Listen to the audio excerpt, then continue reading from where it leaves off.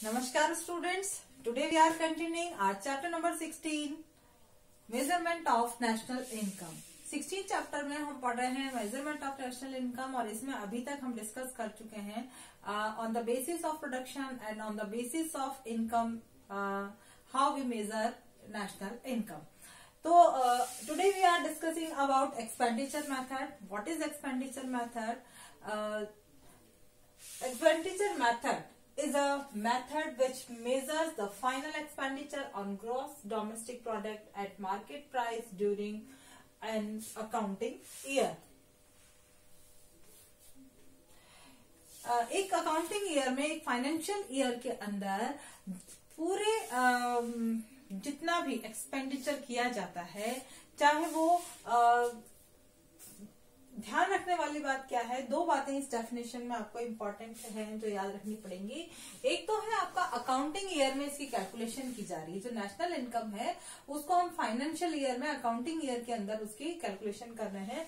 Number two कि इसमें जो मेज़रमेंट किया जाता है, वो फाइनल एक्सपेंडिचर्स का जो गुड्स और सर्विसेज़ हैं, जिनका कि कंज्यूमर्स या प्रोड्यूसर्स कोई भी उसको हम कंज्यूम करे या कोई भी उसका यूज़ कर रहा है, उन सब गुड्स एंड सर्विसेज़ को हम फाइनल गुड्स एंड सर्विसेज़ की कैलकुलेशन करते हैं।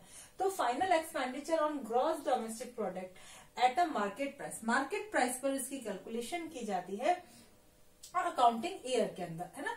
तो एक्सपेंडिचर मेथड क्या हो गया? सिंपली वे में कि एक पूरे फाइनेंशियल ईयर के अंदर जितना भी फाइनल गुड्स और सर्विसेज़ पर एक्सपेंडिचर किया जाता है, वो सारा का सारा इसमें कैलकुलेट किया जाता है। लेकिन ये जो फाइनल गुड्स और सर्विसेज़ हैं, इनकी कैलकुलेशन कैसे की जाएगी? इन पर होने वाला एक्सपेंडिचर को हम किस तरह से कैलकुलेट करेंगे?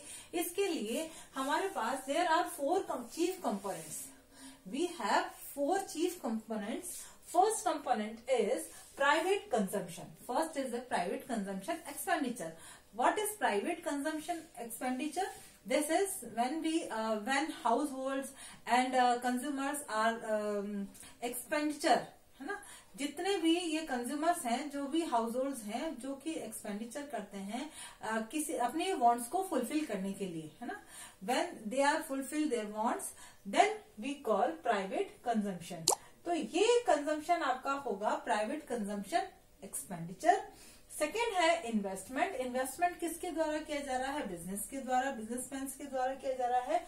Third one is government expenditure जो भी गवर्नमेंट एक्सपेंडिचर कर रही है. एंड फोर्थ है नेक्स्ट एक्सपोर्ट्स है ना? तो इसको हम वन बाय वन डिस्कस करते हैं. First is private consumption expenditure private consumption expenditure जो कंज्यूमर्स या हाउस होल्ड के द्वारा किया जा रहा है, ये क्या है?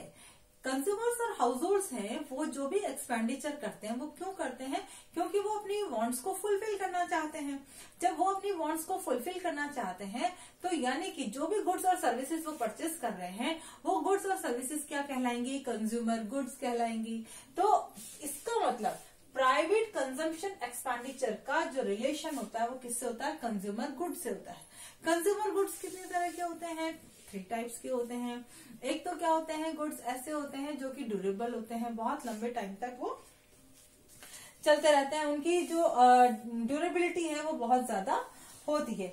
इसके अलावा जो दूसरे गुड्स हैं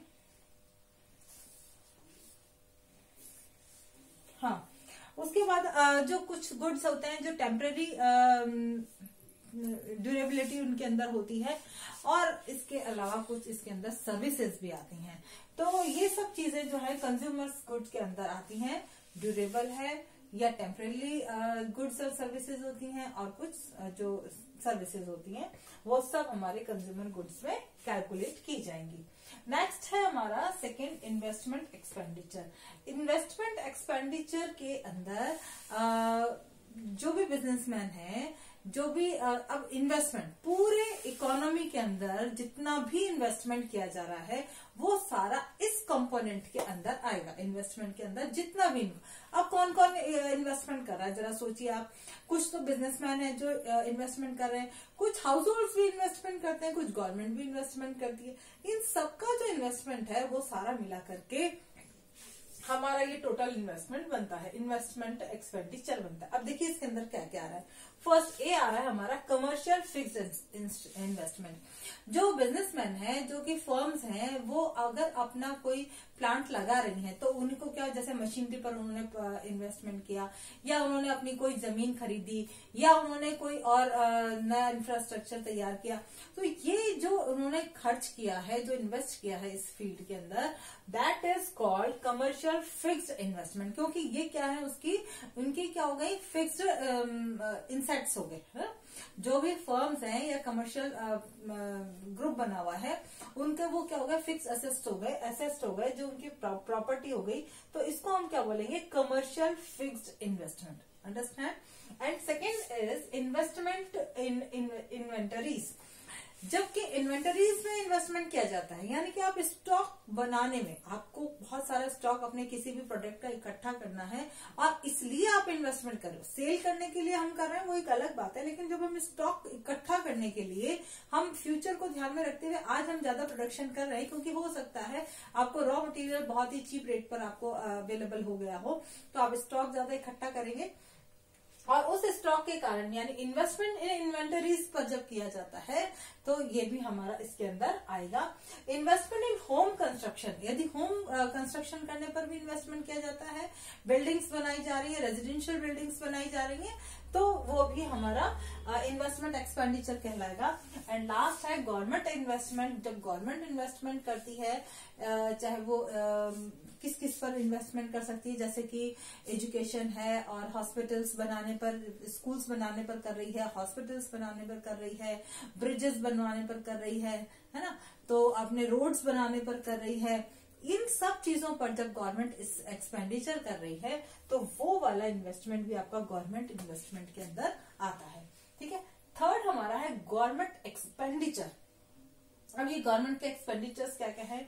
जैसे गवर्नमेंट ने एजुकेशन पर खर्च किया हेल्थ केयर पर खर्च किया डिफेंस डिफेंस पर जो हमारी जो मिलिट्री है, उस पर जब खर्च किया, और maintenance and law and order जब लॉ एंड ऑर्डर को बनाने के लिए, कानून व्यवस्था को बनाए रखने के लिए गवर्नमेंट जो कुछ भी खर्च करती है, जितना भी खर्च करती है, जो व्यवस्था बनाए रखती है, हमारे जो पीपुल्स हैं, हमारे जो लोग हैं, जनता है, उसकी सुरक्षा के लिए जितना भी उसने पुलिस डिपार्टमेंट तैयार कर रखा है डिफेंस तैयार कर रखी है, उस पर जो गवर्नमेंट खर्च कर रही है, वो सारा हमारा आता है गवर्नमेंट एक्सपेंडिचर के अंदर आता है।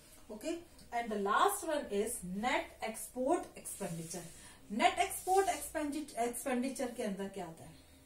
देखिए, इसको हम कैसे निकालते हैं? नेट एक्सपोर्ट एक्सपेंडिचर कैसे निकालते हैं? जब हमारे जो, जितने भी आप एक्सपोर्ट करते हो, जब भी हम एक्सपोर्ट करते हैं तो कौन हमसे माल लेगा? फॉरेन कंट्रीज़ परचेस करेंगे। और हमारे पास बदले में क्या आता है? हमारी इनकम आती है। फॉरेन मनी आती है फॉरेन करेंसी हमारे पास आती है जब भी हम एक्सपोर्ट करते हैं। तो एक्सपोर्ट करने का मतलब हमारी इनकम हो रही है हमारे रेवेन्यू बढ़ रहे हैं ठीक है? और जब हम इम्पोर्ट करते हैं है ना? जब हम इम्पोर्ट करते हैं तो हमें उल्टा पे करना पड़ता है। पे करने से क्या होता है कि ये हमें आ, चुकाना पड़ रहा है। देना पड़ रहा है तो ये हमारे पास क्या हो गई हमारे एक तरह से हमारा लॉस है हुँ? हम्म? तो यहाँ पर एक्सपोर्ट क्या हो गई हमारी जो भी प्राप्तियाँ हैं रिसीव हमने जो भी किया है, जो भी कुछ गेन किया है, और हम इम्पोर्ट जब हम कर रहे हैं तो जो भी कुछ हमने पे किया है जब हमारा इनकम और हमारे एक्सपेंडिचर इसको हम एक्सपेंडिचर भी बोल सकते हैं, जो इम्पोर्ट्स हम कर रहे हैं तो जब हमारी इनकम बड़ी है एक्सपोर्ट्स एक्सपेंडिचर्स कम है तो नेट एक्सपोर्ट एक्सपेंडिचर हमारा क्या होगा? प्लस में होगा। और अगर हमारे इंपोर्ट्स ज़्यादा है एक्सपेंडिचर एक्सपेंडिचर ज़्यादा है और इनकम कम है तो हमारा ये जो नेट एक्सपोर्ट एक्सपेंडिचर है, ये माइनस में जाएगा। इस तरह से इसको हम निकालते हैं। पूरे ईयर का निकाला जाता है इसमें। इम्पोर्ट्स इसका जो फॉर्मूला है X minus M export minus import का फॉर्मूला इसका है।